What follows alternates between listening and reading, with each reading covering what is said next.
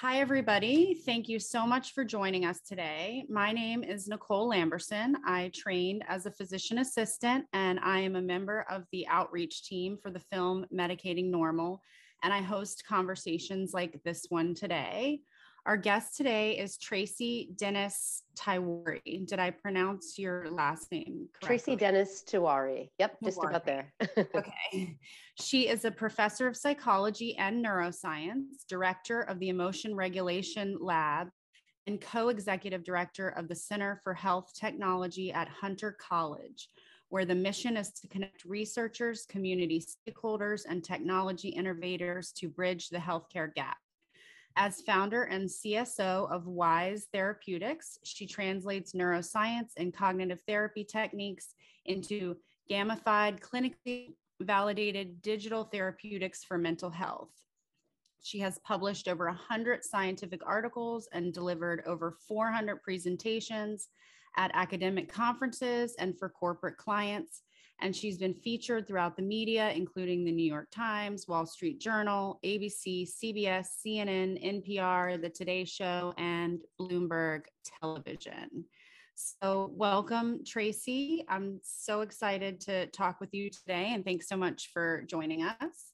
Thank you, Nicole. Um, really happy to speak speaking with you.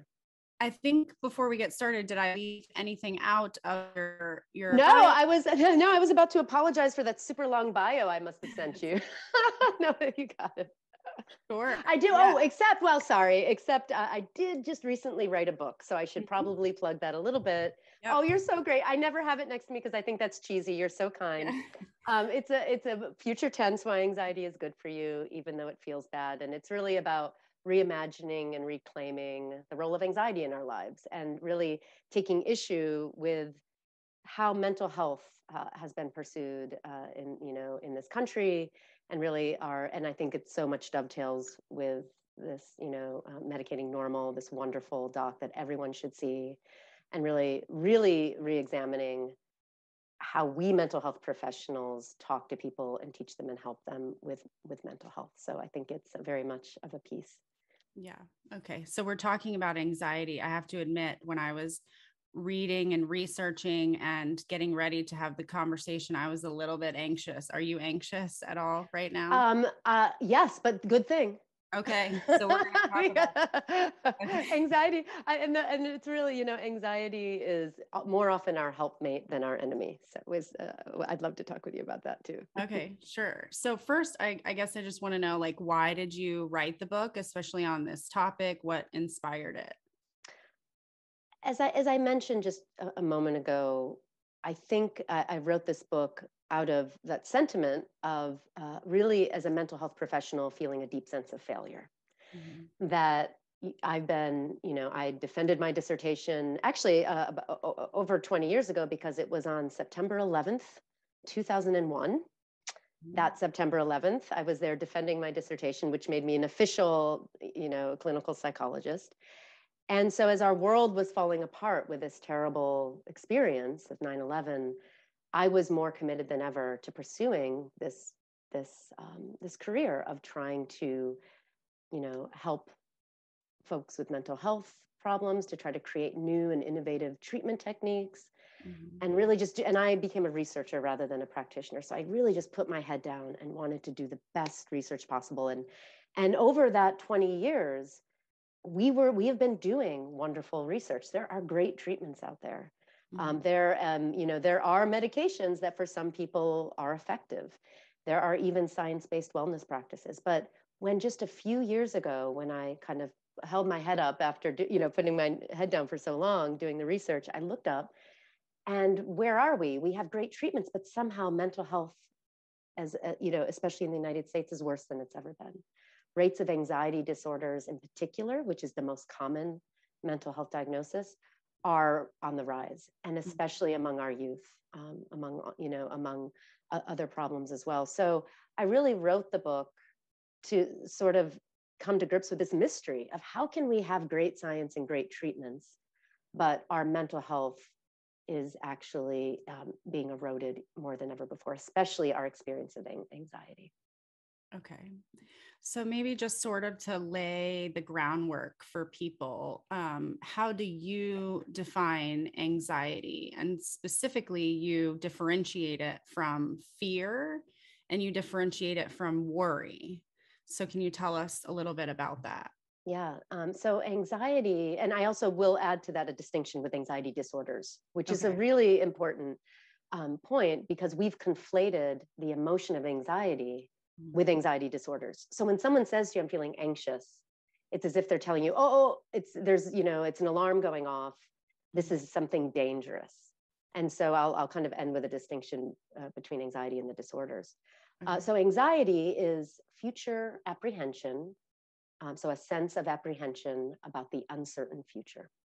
So what does that mean? It means, you know, we know what anxiety feels like. Um, you know, many of most of us. Mm-hmm. It's uh, it's the physical feelings that we equate with fear. You know, mm-hmm. whether it's the butterflies in our stomach, the racing heart. So these are things that feel like fear. But anxiety doesn't root us in the present like fear does, where you're kind of handling, you know, you're re- responding to a threat that's in the moment when you're fearful, like a snake about to bite you. Okay.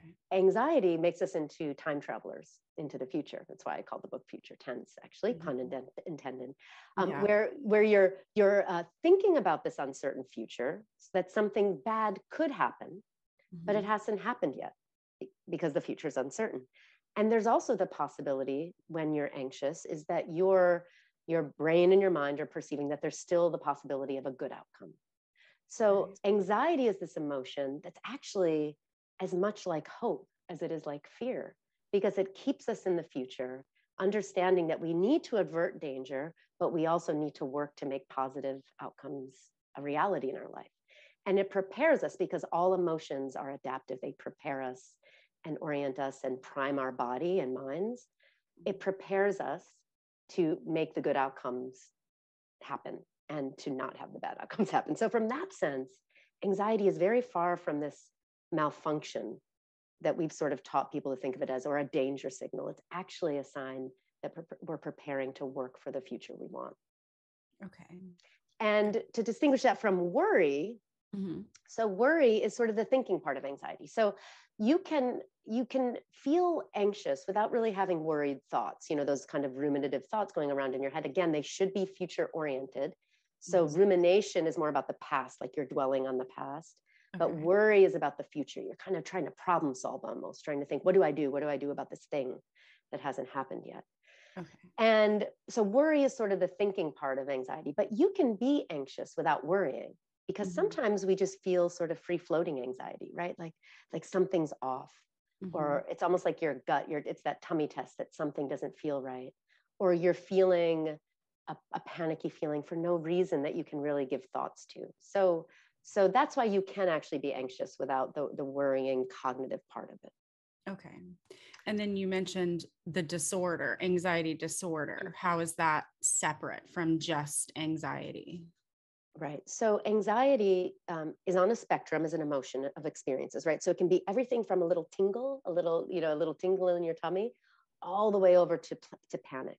Mm-hmm. But, and you can have this uh, all along the spectrum. We have experiences of anxiety all the time. Even when we're just thinking about the future and are a little activated, that's anxiety. Mm-hmm. And we could even have intense anxiety every day, like way over on that spectrum, but not be diagnosed with an anxiety disorder.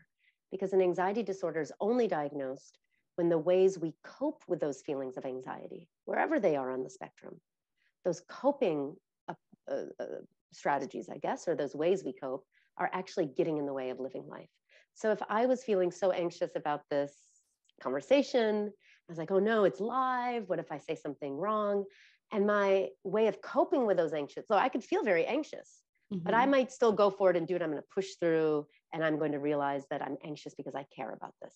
But if instead I email you this morning and say, sorry, I, I just can't do this. I'm, I, I have something that came up and I don't do it. And mm-hmm. then another opportunity comes up and I avoid it. And then I stop going to work because it requires me to come into the office now. Those are ways of coping.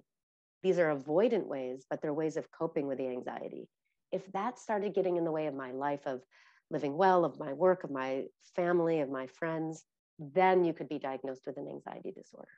Okay. So, so the crisis we have right now, because anxiety disorders, a third of us will be clinically anxious in our lifetime. That's mm-hmm. over 100 million people in the US alone. The crisis is not that we're feeling too much anxiety, it's that the ways we're coping with it are not uh, effective and they're getting in the way of living a full life. Okay, gotcha. Okay, so we'll we'll get into that a little bit more the the coping and how we're doing it wrong, essentially. Um, but I want to talk a little bit before that about how um, you sort of take an evolutionary approach to emotions. Um, I like that because um, I told you before we started the conversation that I I took um, anxiety medication myself, and I've since come off of it and had you know horrific withdrawal from it. And once I sort of peeked behind the curtain and looked at the way not only the mental health system is operating, but just all of medicine, I started looking a lot into you know, like evolutionary type things and diets that are based on our ancestors and that kind of thing. So I really love that in the book you sort of take this evolutionary approach and you talk about how, you know, negative emotions like anxiety uh, get a, a bad rap. You know, I think about whenever we cry, immediately people are quick to be like, stop crying. You know they want to stop this yeah. this negative bad thing and the same thing with with anxiety. But then i also think like obviously our bodies do these things for a reason right?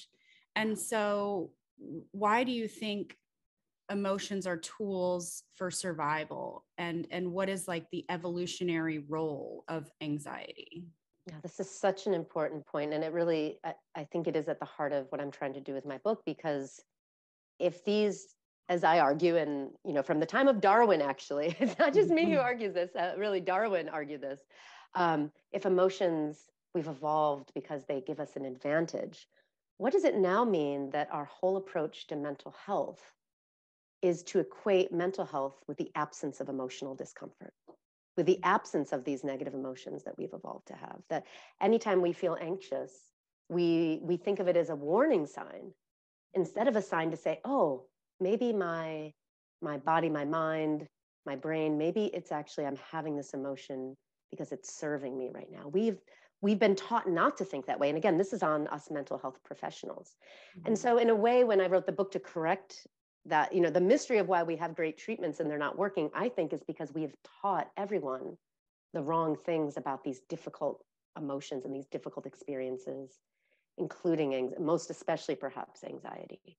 Um, and and when you start to treat these emotions that we've evolved to have as malfunctions instead of highly functional mm-hmm. you actually that's when they start to spiral out of control. That's when we they actually you start to lose opportunities to learn how to work with them. And they you know and and and work through them and to actually use them to your advantage.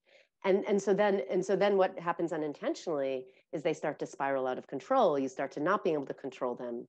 You start to miss opportunities to see that when we're anxious yes it feels like fear and, and and actually our biological responses are somewhat similar to fear. But anxiety for example does something even more it primes biological responses like oxytocin, which is the social bonding hormone.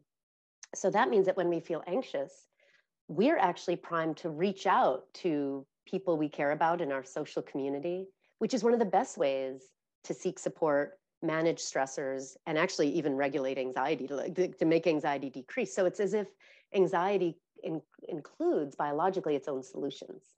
Um, anxiety also increases dopamine, the uh, the feel good neurotransmitter in the brain, which you know we think of that often or talk about it as kind of oversimplified as sex, drugs, and rock and roll. You have dopamine and it's addiction. It's all, but dopamine is much more than that. Do- dopamine is this little this little shuttle uh, um, among areas of our brain that help uh, integrate and and orient those areas of our brain that help us pursue goals that we really want, things that we really want in life it helps our when dopamine fires it helps our brain work more efficiently to make our dreams into realities so so anxiety helps us by increasing levels of dopamine so it does these things that because we've demonized these negative emotions that we've told people oh mental health is about not feeling these things suppressing them mm-hmm. it's not only an opportunity cost to use them but then it makes them actually start to become dysfunctional, start to turn against us.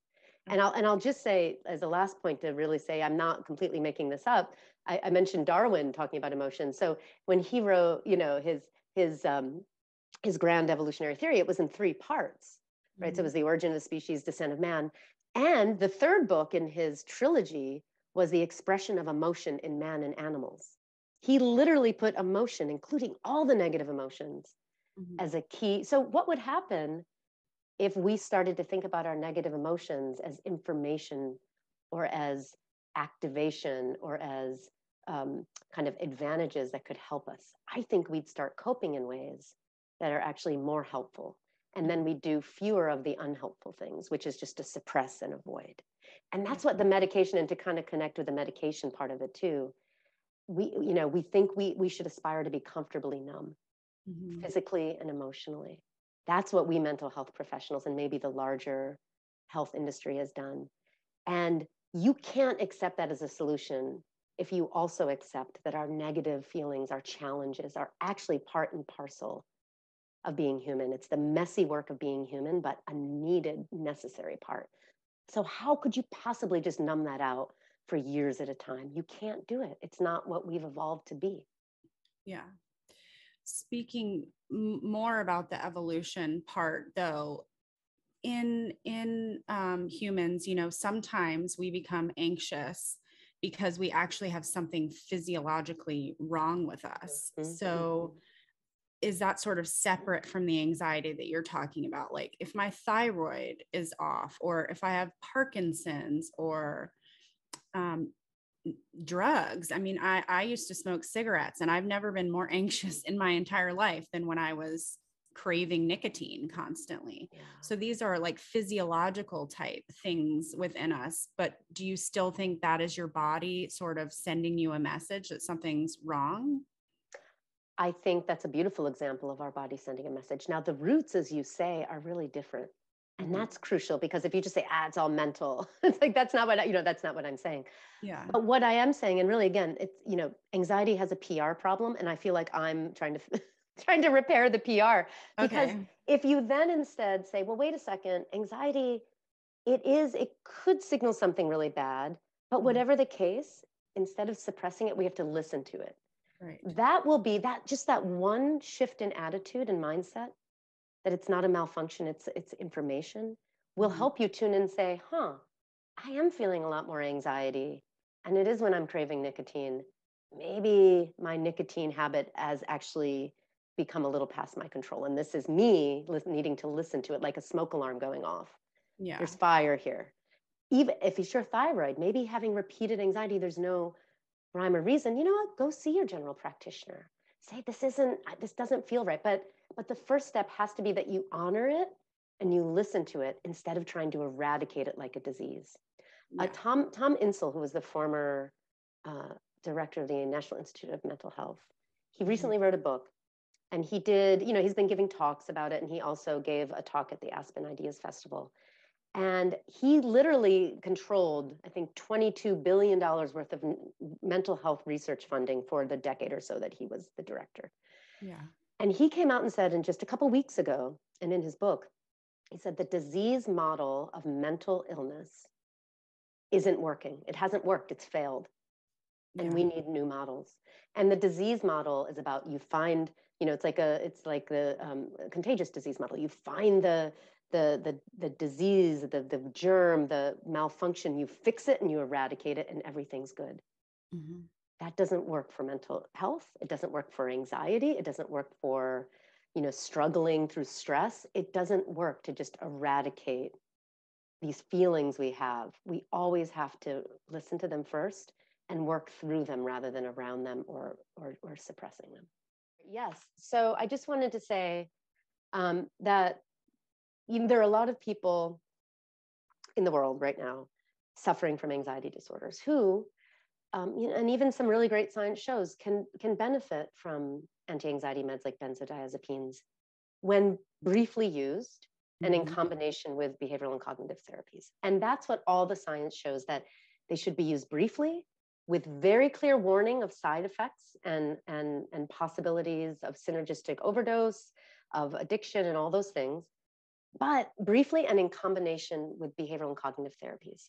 Mm-hmm. Because benzos were never meant to be a lifetime treatment for 99.9% of people out there. So I do want to say that I'm not saying to everyone out there immediately throw out your pills and you know, and I don't even think medicating normal is saying that. No. What it's yeah. saying is that we've shifted into this way of treating mental health concerns, mm-hmm. complaints, mm-hmm. and illness to just immediately try to numb out what is actually healthy, normal human emotional struggle and experiences that we have to go through in order to heal.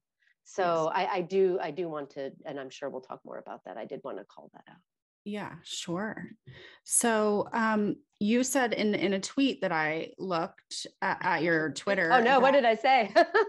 that you think um, you know everything you've just said about medicalizing anxiety and that the disease model is is failing and causing harm but that you said that you think the mental health industry is even predatory? In, in what way do you think that's true? I think, I think that at this point right now there's um, and it's funny i think the industry has this predatory um, aspect to it because there's big money in mental health.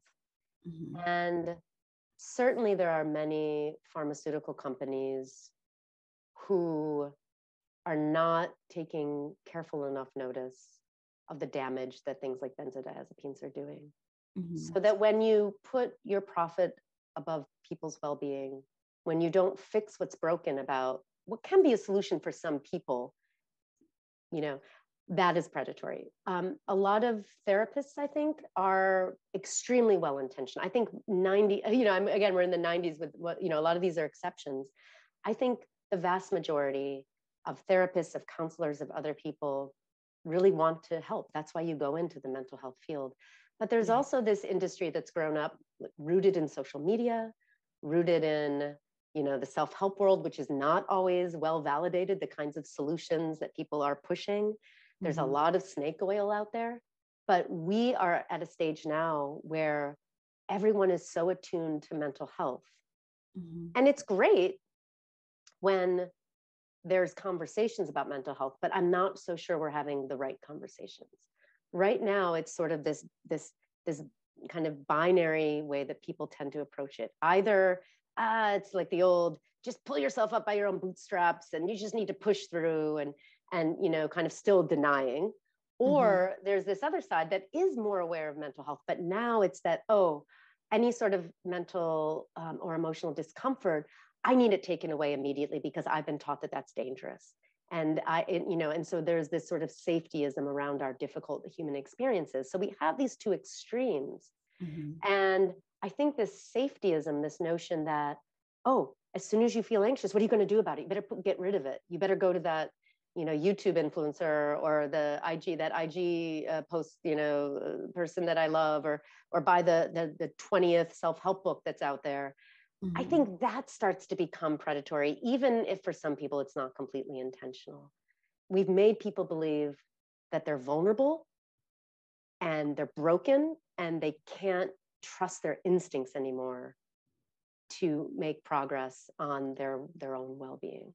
Yeah that's so true.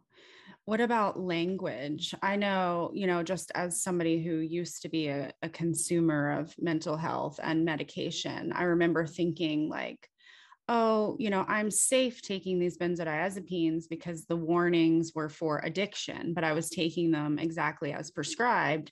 And if someone would have explained the language to me properly, that physical dependence is completely different from addiction, your body can become neuro adapted to a substance without you even abusing it you put you you know wrote something about um, PTSD and uh, language in I mm. think it was Nepal. Mm-hmm. Can you tell that story and how you know how you think language is really important in this space? Yeah, this is and th- this is um this is really I think one of the primary points I'm trying to make in the book that our mindsets and and language is such a powerful part of our mindsets right? Our our our sort of predictions about what the world is how we make sense of it.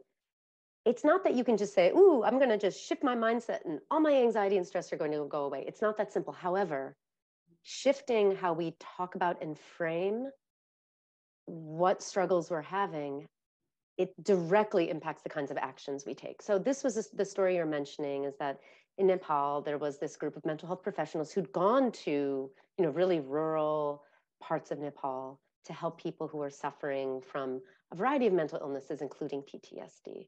And people had really been through significant um, trauma.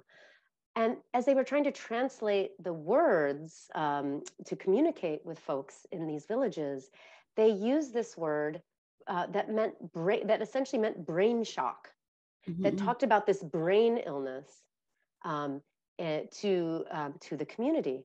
And in in the Nepalese way, and I think also in the Buddhist way, many um, Nepalese are Buddhist, in the way of understanding m- emotional and mental um, strengths and vulnerabilities. As soon as you start talking about the brain, it's a disease and you can't do anything about it.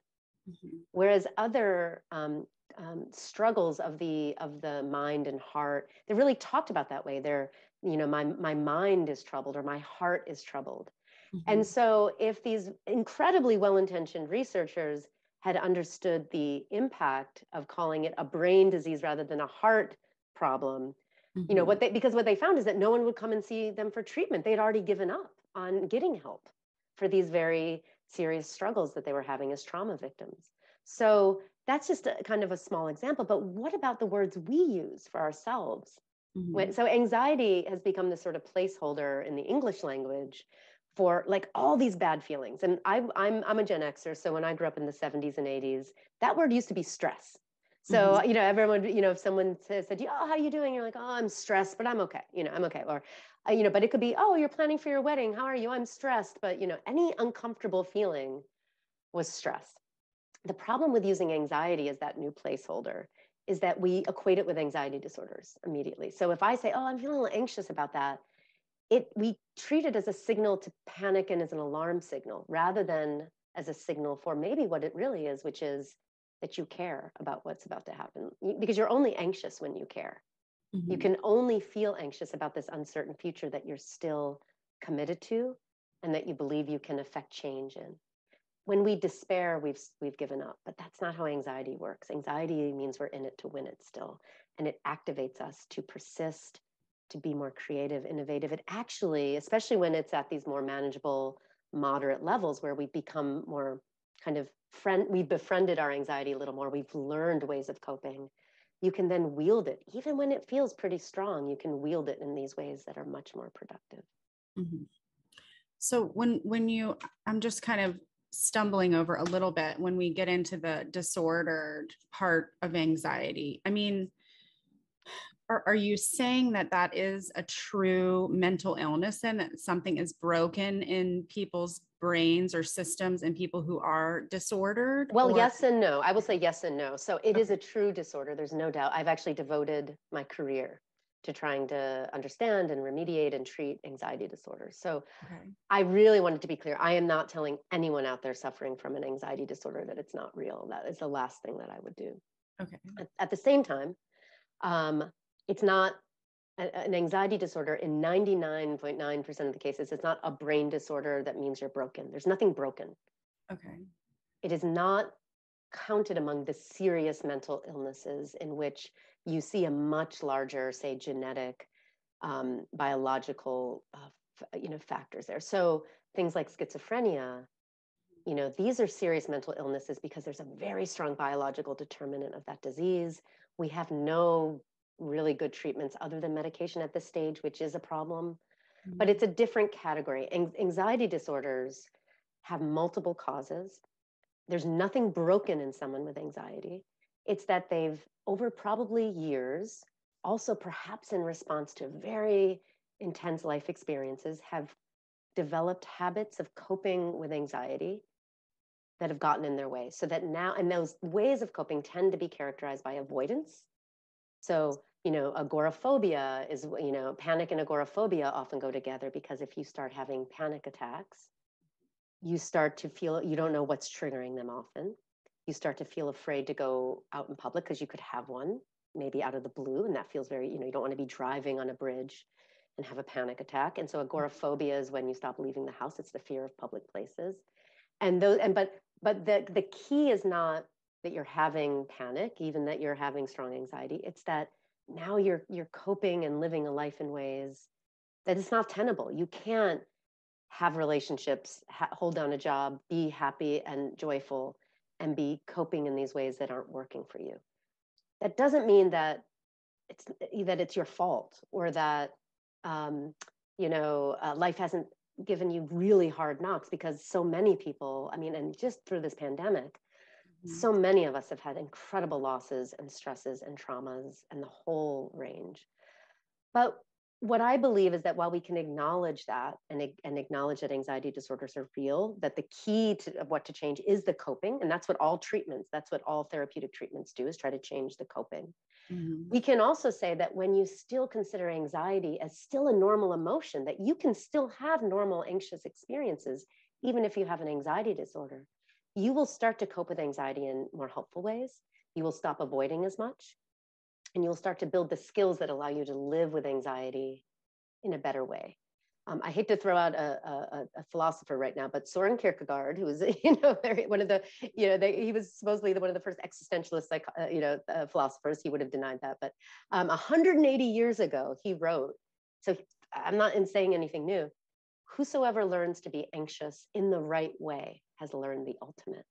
So anxiety is a human condition it's a feature, not a bug, and we can learn to be anxious in the right way. That's the whole goal of what I'm I'm trying to say in my advocacy and also what I wrote in the book.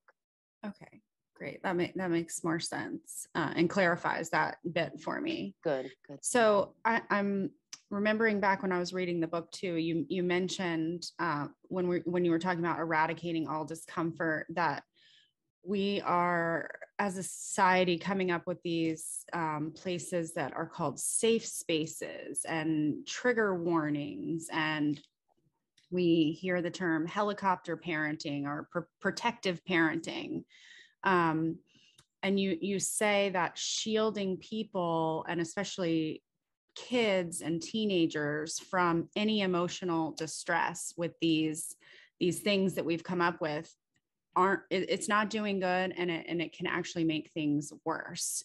Um, do you want to talk a little bit about that? Yes uh, this is really um, i think this is one of the most crucial things we as a society uh, need to contend with because we have sort of gotten to this place again so much of it is well intentioned i'm a parent i have a 10 and 13 year old. Yeah. Um, we see this world around us it is a mess. I'm mm-hmm. not writing any of this and saying, you know, I never say, the world's perfect. Don't feel so anxious. Or, oh, you know, anxiety feels great. Keep feeling it. No, the world is very challenging. Anxiety sucks. No mm-hmm. one likes to feel anxious, but it is reality that this mm-hmm. is a that this is a challenging world and anxiety is not going anywhere. We will never eradicate anxiety, and thank God because it serves us in many advantageous ways. Yeah. When it comes to kids, we have to raise our kids to be prepared to deal with the reality of in, in both of those ways. So I'll start with a little study, and then um, um, that really illustrates this, and then I'll, I'll, elaborate on it a bit. So there was a study uh, with uh, coming out of Yale Child Study Center um, starting in 2018, and they've done replication since then, Eli Lebowitz and colleagues. And they're uh, at the Yale Child Study Center, they do wonderful intervention research uh, for childhood anxiety disorders. And so what they developed is this intervention that they've been refining over time called SPACE. It's called Supportive Parenting for Anxious Children. Mm-hmm. Um, that's what SPACE stands for. And um, what they did in these studies is they brought in clinically anxious kids, kids diagnosed with things like social anxiety disorder, separation anxiety disorder. And typically with kids with anxiety disorders, you would give them, um, you know, you would administer cognitive behavioral therapy, which is one of our gold standard therapies that really gets at, you know, the ways that we think and behave that can um, that can um, maintain and, and exacerbate anxiety. But in this study, what they instead did is they gave um, a large group of kids. Um, they didn't give them therapy directly; they gave the parents therapy, and that's what mm-hmm. SPACE is. It's the, and what it did, this therapy, was to teach parents to stop over accommodating their kids' anxieties and mm-hmm. help kids work through. Over accommodating means if you have a socially anxious kid and they don't want to go to school, it's just too much for them. We have the instinct to protect them. So we're like, okay, it's okay, stay home. It's all right. Oh, you want to sleep with me at night? I, you know, I just want to make sure you feel okay. And so it's this this this sort of helping kids avoid struggling through anxiety, right? Mm-hmm. And that's what a lot of parents of anxious kids start to do because we want to help. But that is exactly a recipe for actually making childhood anxiety worse. So, space teaches parents to help them disrupt that. So now parents learn I have to gradually help my kid get to school. I can't let them stay home. Mm-hmm. I can't let them sleep with me every night because they don't want to be separated from me and they're scared of the dark. I have to help them build those skills. So, parents are taught to help kids work through rather than around anxiety.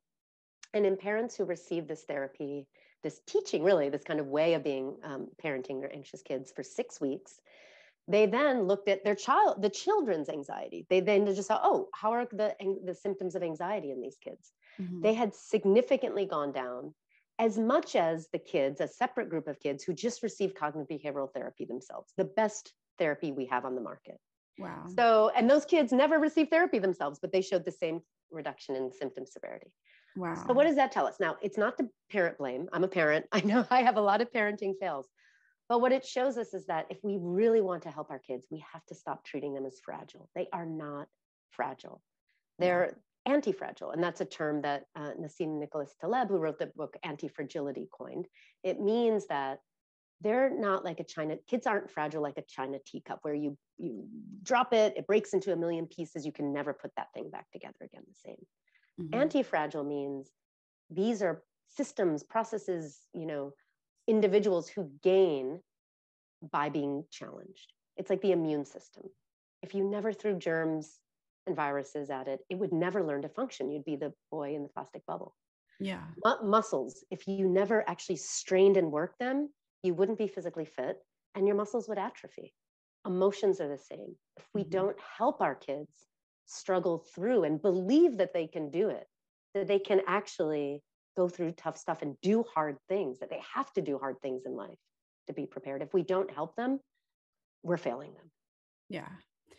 I, I'm imagining though, some people hearing this and thinking like, oh, well, you know, then you just sort of tough love and say, like, get out there and do it. You know, is there a process of like a gentle way to, ex, you know, um, expose people to things or to sort of push them without sounding you know callous and dismissing that it's hard it's mm-hmm. a difficult process for some mm-hmm. people i mean there's no one right way to parent mm-hmm. um, but i can say that throwing in the deep end that approach is usually not the best so as you're suggesting is like a more um, but yeah. we also have learned through you know there's so many parenting experts and parenting books and the checklists if you don't check off 80 of the 90 check boxes on the good parenting checklist you failed. There's so much of that mentality out there that yeah. we don't trust ourselves anymore. So, what I'd say to parents is trust yourself, number one, that you mm-hmm. know how to do this for your kid because every kid is different. Some need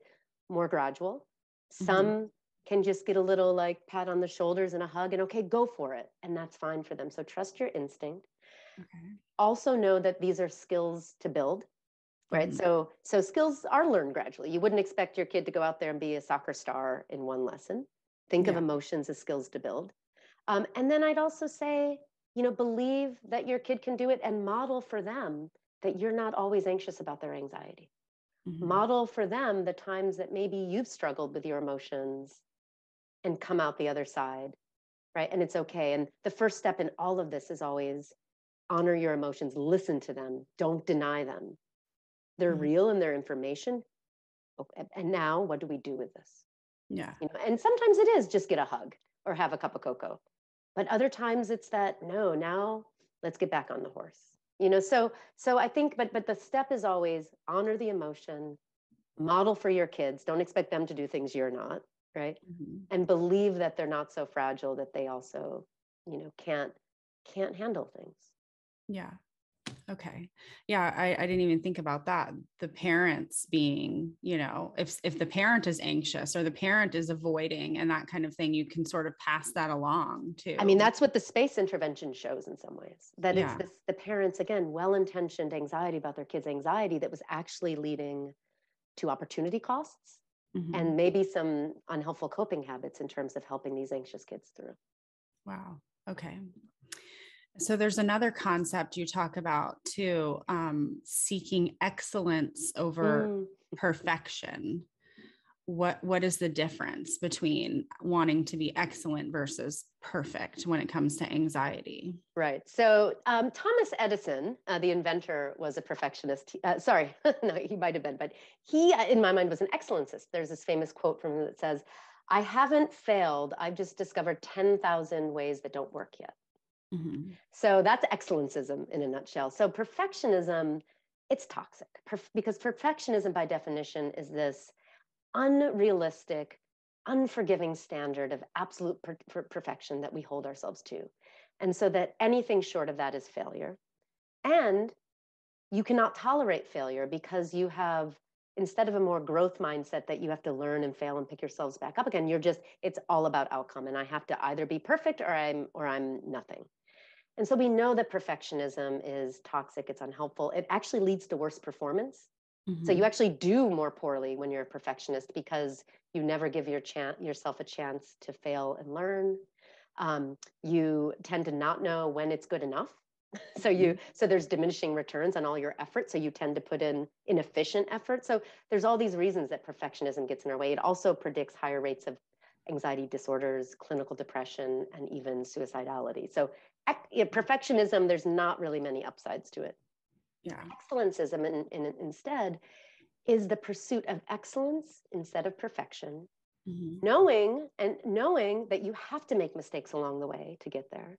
Yeah. And believing that you have the capacity to keep working and to make it good and then good enough and then excellent. And and so it's this completely different approach to doing things in the world that has been shown not only to lead to better mental health, um, mm-hmm. but better outcomes. And people who are a little bit higher on the anxiety spectrum tend to be better excellencists. So it, it helps you persist when you face obstacles because you're anxious, you care about that outcome. You're mm-hmm. feeling that you're invested, and that can feel like anxiety for many of us. You're, and, and also, anxiety focuses our attention, activates our energy, helps us push through when we face obstacles. So in, in, in what the research shows, and, and also I think in how we can conceptualize of excellencism, anxiety and excellencism go hand in hand. Okay, gotcha.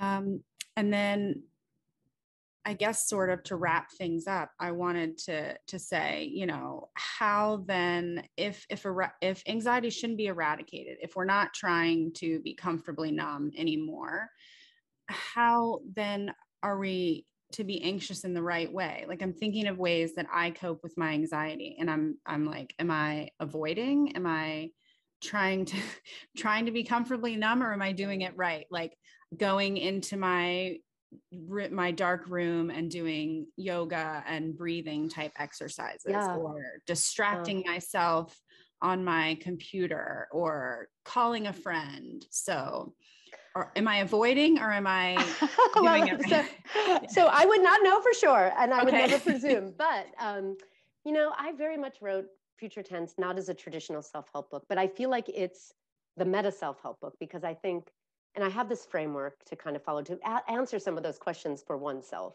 Okay. And then there's so many great self-help techniques out there there's great therapists there's great so much but you ha- we have to shift our mindset about anxiety before we can benefit fully so the framework I, I, I give in, in the last chapter of the book is really just three three kind of pillars of how to be anxious in the right way. One is that anxiety to know and believe and try um, to be curious about anxiety because mm-hmm. anxiety is information. So listen to it. That's just the first step. Just developing that practice and those skills of just saying, oh, when I'm anxious, instead of immediately saying, okay, what do I do about it? Mm-hmm the first thing to do is just listen to it and tune in. So there have been, I've been had a very busy past couple months and just a lot going on in my life. And there have been a few, quite a few mornings where I've woken up at 5 a.m. Right. I'm sure many of us can relate to this. Mm-hmm. And my mind's going and it's like anxious thoughts are going. And often our impulse is to say, oh, something's wrong with me. What am I going to do? I better just get up and like forget about it. I'm just going to wake up and drink coffee and just like get into work. Yeah. But But what I try to do as a practice, it's not always easy because anxiety does not feel good. but I sit there and I try to say, okay, what are these like free floating anxious thoughts telling me? So I'll kind of tune in. I'll say, okay, yeah, I had that fight with my husband the other day. Is that what's going through? Is that bothering me? You're like, mm, no, that that got resolved. And you're like, mm, what else is going on? You know, oh, I've been kind of waking up with stomach pains every day for a few days. And you're like, mm, no, I have the doctor's appointment, so that's okay. Mm-hmm. And then you're like, oh, wait a second. There's been this deadline. I've totally shoved it out of my mind but it's in the back of my mind. And I think I need to start addressing it or dealing with it. Mm-hmm. And you're like, that's what I'm anxious about. Bingo. And as soon as you sort of give it words, mm-hmm. maybe even you get up for a minute, it's 5 a.m. You're like, I'm just going to write this down on a, ch- on a list and say, email that person about the deadline tomorrow. Your anxiety will probably start going down. And it tells you, oh, I've listened to anxiety, it was up and now it's going down. That means I'm on the right track. Right. So that's just a small example, but when we practice listening to anxiety, we will gain wisdom mm-hmm. about what we care about in life, what matters, what we need to do. And then you can, from that vantage point, make decisions. Yeah. Now, the second step is kind of, I think, what you're describing too is that, you know, sometimes it's not giving us any useful information or we can't hear it yet, or it's too much. I've had many times in my life, even just within the past several months, where my anxiety was such a high level, I couldn't make sense of it. Mm-hmm. And I knew I just needed to leave the future tense because it was making me sort of like, oh, you know, kind of thinking, thinking, active, active. And I needed to come back to the present tense. Mm-hmm. So for me, I also am a lover of yoga. Mm-hmm. I love long walks. Like there are things that we can do that just bring us back to the moment when we can breathe again, when we can immerse ourselves just, you know, just kind of in a calm. Maybe it's even just talking to a good friend, mm-hmm. right? Maybe it's you know reading a good book maybe it's you know whatever it is we have these tools at our disposal maybe it is going into a dark room and sometimes i just take a nap mm-hmm. it's just like i just need a but to have that feeling of wait i'm not i'm not in danger because i feel anxious i just need to take a little step back and see what i need to do to get to a more of a baseline right? So so sometimes we do need to be in the present moment in in a deeper way.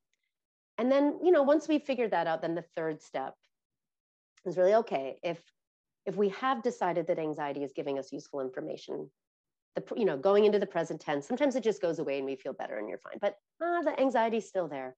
I need to do something with it. So the third step is really okay how do i hitch this anxiety to a sense of purpose okay. you know how do i help it drive me to get that deadline done to you know i'm having this anxiety about spreading the word about why I think we should change how we talk about anxiety. What do I do with that? Like, you know, it can really drive you to do amazing things in the world. Yeah. You know, talk to a lot of artists and performers and creative people, and all of us are creative, but talk to any of them. And for many of the breakthroughs that they've had in their in their endeavors, it's mm-hmm. been at those anxious moments, at those intersections that are really uncomfortable, where they've sort of dug into it and taken that instead of suppressing it, avoiding it, not engaging or listening to it. They sort of helped it that they used it to help them go to the next level. And so those are the ways that I think we can start to practice thinking of anxiety as hey, we can actually listen to it. We can let go when we need to to the best of our ability. And, and we can also use it in these kind of really productive and creative ways just to make us persist, maybe sometimes when we need to. And then you start to have a relationship with anxiety. You may find after that that you you know i want to see a therapist. I'm struggling a little too much. I need that extra support. I need to you know i need to really devote my i need to stop drinking alcohol because i just see that that's really spiraling me out and i need to take more intense measures here or you'll discover things but but you you can use anxiety to actually tune into your inner wisdom and to understand what the right next step is for you. Mm-hmm. Yeah all that is so important i mean I, when i was reading your book i was like oh my gosh like there were so many things I was taught in school that wound up being so useless, you know, in adulthood and, and mm. growing up.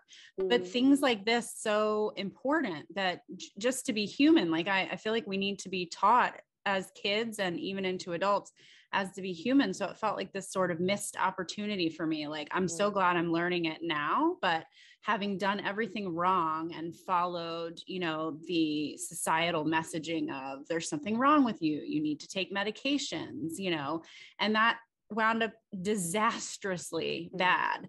But just something so simple as to have been told, like, anxiety is a part of life and you're going to have to like learn to have it in your life and it's not going anywhere and that it can actually teach you and motivate you and you can use it that's i mean i think you're doing such a great thing with putting that message out there and uh, i hope you can reach so many people you know with your Thank book you. and your writings so Thank you. Um, I'm really grateful for that. yeah before we go we have a couple more minutes we didn't really get into i mean you you t- touched on medication some but i guess did you want to just leave everybody with some more thoughts on you know somebody has anxiety and they're considering medication for themselves or their kids what what would your message to them be at that point I think I think medication should be a kind of a more last option rather than a first option approach. Um, because again, we have, especially with kids, I'd say, but really any of us, because we have underplayed the, the dangers, especially of benzodiazepines. They're very serious drugs. I mean, before that, we had barbiturates, to which were essentially tranquilizers to treat anxiety. So benzos for a long time were considered an improvement, and we missed the fact that they're also very dangerous and risky. So Mhm. I'd say think of it as, you know, a very much of a second approach rather than a first line approach. Um, know that the way that science has told us, not the companies making money off of benzos, but what science tells us is the best way to use them is briefly over months rather than years, and in combination with cognitive behavioral therapy. Um, because, and its goal is not to numb you out and to eradicate all pain, but to just, if, if you need them, to bring you to a baseline so that you can benefit from these other treatments. So think of anti-anxiety meds and other meds as sort of, it, it's, it's the old Christian adage of give, you know, give a person a fish, they'll eat for a day, teach them to fish, and they'll eat for a lifetime. Mhm. Benzos are the fish. Cognitive behavioral therapies and the, that are skill building that teach you to cope in the long term, that's learning to fish. So focus on learning to fish rather than eating for a day. Um, and be very cautious with kids um, to not have that be a first line approach. Yeah. And I'll just add from as someone who took benzodiazepines long term myself, if you don't like anxiety, benzodiazepines actually cause I mean, they caused me anxiety like I have never experienced in my life before. Once tolerance sets in, and then when you have to withdraw from them, it is an anxiety that there's not even words to describe the physiological type of suffering that they can induce. So it's actually just so counterproductive. You know, you're trying to avoid and be comfortably numb, and you wind up creating a state that is so much worse than you were to begin with. What an So, important point, and it drives people to believe they need the medication yes, even more. But it's like the And- cigarette smoking. Like I said, you're in withdrawal, and so you you smoke again because you think you're you're fixing anxiety, but you're really just squelching the withdrawal. It's, it's so destructive. And again, there are a small number of people I think who really probably do need benzodiazepines. And but I really become enraged when I think about what we've done, especially in terms of psychiatry and giving these meds out like they're candy. Yeah, It is it is so destructive. I'm so grateful that this film Medicating Normal was made for that reason because we because we have to shift our expectations and attitudes about mental health. We we have to throw out this disease model. If the former head of the National Institute of Mental Health says that the disease model doesn't work for Mhm. mental illness and we need a new model.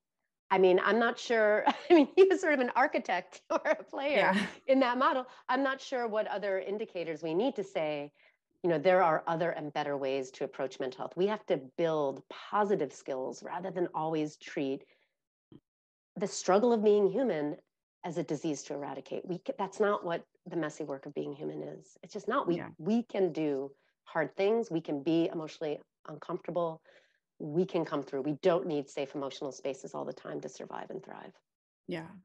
That's a great, great ending there. Well, thank you so much for for joining us today. It's been great to talk to you. And um, is there anything you want to leave us with, or definitely I want you to tell people how they can find you and follow your work. And we also have someone who's going to put all of your social media in the comments and um, if you're watching this on YouTube, we'll put it in the description as well. But Oh, where can you. people find you? Sure.